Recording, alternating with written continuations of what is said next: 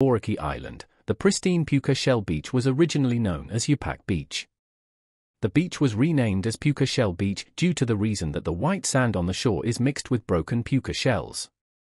Stretching up to 800 meters and featuring clear waters, this beach is suitable for enjoying swimming, paddleboarding, and kayaking. The beach has a number of tall palm trees, under the shade of which the visitors can unwind and relish some sweet coconut water or enjoy a picnic lunch. There are also small souvenir stalls on the beach, selling mats, sarongs, and shell items. 42 Diniwid Beach Featuring a calm and serene atmosphere with no crowd, Diniwid Beach is an abode for the peace seekers. Flaunting sparkling white sand, this beach is more like an extension of the famous White Beach. Sprawled across an area of around 200 meters, this beautiful beach boasts charming sea-facing villas and resorts. Encompassed by shimmering waters, breathtaking rocky cliffs, and lush hills, Diniwid Beach is a paradise for the true beach lovers. Offering adrenaline-fueled activities like cliff jumping, paddleboarding, and kayaking, Diniwid Beach also does justice for the adventure seekers. 43 Willys Rock The rocky outcrop of the Willys Rock is considered to be the most photographed attraction on Boracay Island. This rock formation makes for a stunning tidal island with its steps featuring a figurine of the Virgin Mary. Nestled near Station 1 of the White Beach, Willys Rock got its name from Willys Beach Club Hotel, which is located in the same area. 44 Cagban Beach Sparkling clear blue water, great scopes for water sports, and the perfect location for luxurious hotels are some of the best explanations one can use to describe Cagban Beach. Located on the western face of the iconic Boracay Island, Cagban Beach is regarded as one of the top tourist places in Philippines that everyone must visit at least once while touring the island nation. D-Mall is one of the tourist favorite hotspots, which houses one of the best flea markets that one simply cannot miss exploring while visiting Cagban Beach.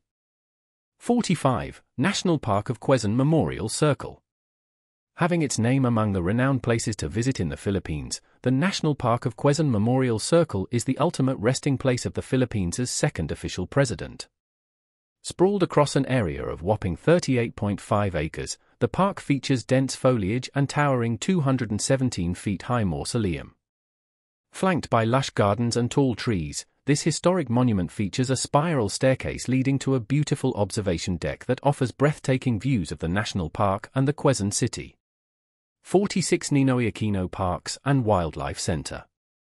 Sprawled across an area of around 23 hectares, Ninoy Aquino Parks and Wildlife Center is home to a botanical garden and a zoological park. The botanical garden is home to over 3,000 species of plants, out of which around 100 are indigenous. There is also an artificial lagoon, sheltering numerous fish species. The Wildlife Center shelters over 1,400 species of animals.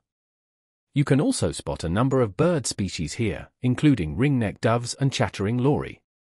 47 3D Art Museum of Art in Island. Unlike other museums, the unique and interactive 3D Art Museum of Art on Island allows visitors not only to touch and feel the exhibits, but also to enjoy creative photography. This museum features more than 50 illusionary murals, all of which were crafted by a group of 18 extremely skilled Korean painters. When seen from a certain angle, these murals offer the illusion of depth and also make for excellent backdrops for photography. 48 La Mesa Dam and Eco Park Located in Quezon City of Manila, La Mesa Dam and Eco Park is a beautiful initiative by the government to transform a piece of waste marshland into a green eco park and biodiversity reserve for the wildlife to thrive and flourish. If you want to spend some time amidst lush greenery and a serene pollution-free environment without going out of the city boundaries, then La Mesa Dam and Eco Park are among the best places to visit in Philippines. Spread over an area of around 33 hectares, the park also offers visitors a chance to enjoy a myriad of adrenaline-fueled activities, such as horseback riding, rappelling, ziplining, and even paddle boating.